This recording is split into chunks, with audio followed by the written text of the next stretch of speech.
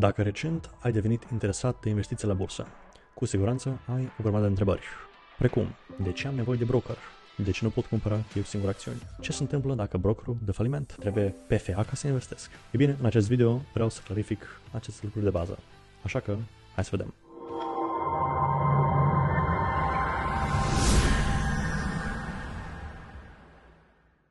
Înainte să începem, vreau să te invit la cursul nostru gratuit de 3 zile.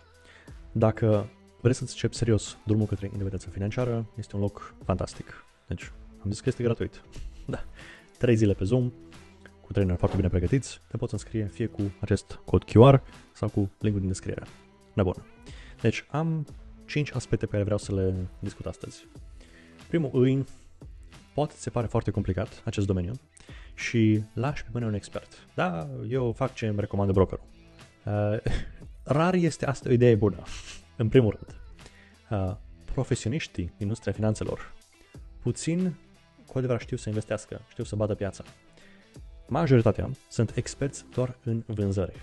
Să te convingă pe tine, fie să le dai lor bani în administrare, fie să te convingă să faci tranzacții. Da. Investițiile nu trebuie să fie complicate. La cursurile noastre înveți esența lucrurilor și poți să-ți creezi niște strategii simple care funcționează. Deci, ce înseamnă să ai o strategie? Să ai un plan clar care răspunde la următoarele întrebări. Cum găsesc oportunități? Când să cumpăr? Când să vând? Și cât de mult să cumpăr? Prea mulți oameni cumpără vreo acțiune de care au auzit așa în trecere și gata, nu au niciun plan. Mă întâlnesc cu mulți oameni și când îmi arată portofoliu, direct, ok, firma asta, uh, de ce ai cumpărat-o? Da, așa că părea faină. Ok? Și când vei vinde? Nu știu, o las acolo 10 ani și vedem. Asta nu asta nu-i plan bun. Trebuie să-ți fie foarte, foarte clar de ce ai cumpărat uh, și când o să vinzi. Da. A doua întrebare. Îți trebuie PFA ca să investești? Nu. Deci, când îți faci cont la broker, poți să alegi să fie pe persoană fizică sau persoană juridică, dar în mod normal, majoritatea pe persoană fizică investesc. Este foarte simplu, deci chiar nu trebuie să te complici cu uh, entități legale. A treia îi de ce ai nevoie de broker? Da? De ce nu pot eu cumpăra direct acțiuni? Păi, așa funcționează piața. Uh, nu este posibil ca tu să cumperi direct acțiuni. Brokerul este un intermediar. Da? El îți execută tranzacțiile. Brokerul este o platformă similar cu o bancă, deci virezi acolo bani și pe platforma lor online poți să cauți ce acțiuni dorești, au buton ca să cumperi, ca să vinzi, îți dau declarații financiare să vezi cât profit sau pierdere ai făcut. Deci este un jucător necesar în na, acest, această piață. Ma, practic, brokerul ce face? Procesează ordinele de cumpărare și vânzare. Brokerul trimite apoi acel ordin la un market maker, care efectiv cumpără și vinde acțiunile.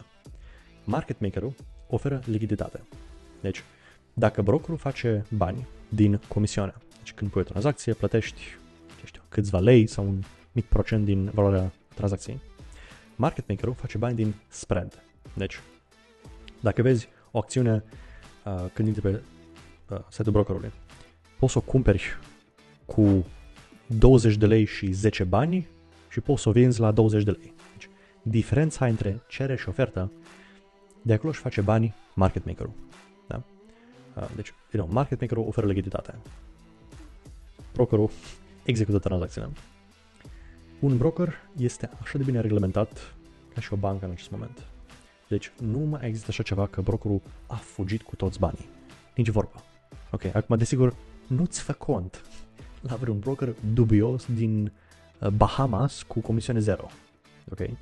Nu, un broker foarte bine reglementat, în România, de exemplu, Goldring, da? este așa de bine reglementat ca și o bancă, da? de către ASF, Autoritatea de Supraveghere Financiară. Nebun. Apoi, următoarea întrebare. Ce se întâmplă dacă brokerul dă faliment? Da? Banii sunt în siguranță? Păi, în primul rând, este un fond de compensare de 20.000 de euro. Da. La fel ca și dacă o bancă de faliment uh, ești asigurat. Pe de altă parte, brokerii sunt uh, obligați să țină fondurile separate la clienților. Da? Deci, tu când cumperi de 1000 de lei Banca Transilvania, acei bani sunt ținuți separat față de conturile brokerului. Da? Ei nu pot să cheltuie acei bani. Deci dacă brokerul de faliment, investițiile tale sunt în siguranță. Deseori li se cere să se facă audit, deci uh, dacă ai încredere să ții bani la bancă, la un broker este la fel de mare siguranță. Ok, și ultima chestie, nu este întrebare specific, dar uh, este un caz ce l-am văzut uh, deseori. Când crezi că le știi pe toate.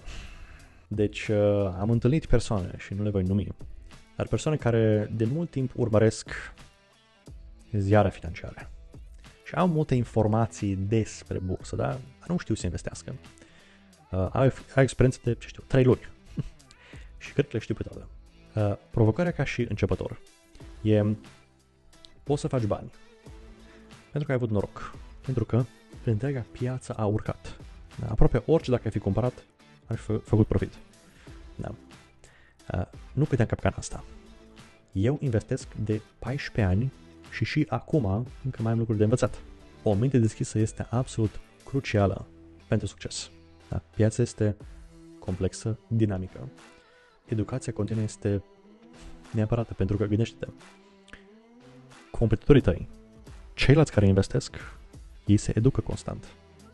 Dacă tu nu o faci, ai șanse mai mici de reușită.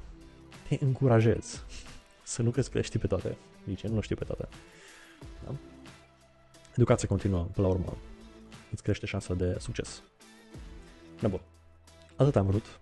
Dacă ești la început de investiții, poate încă nici nu ai făcut o investiție, dar te informezi foarte bine.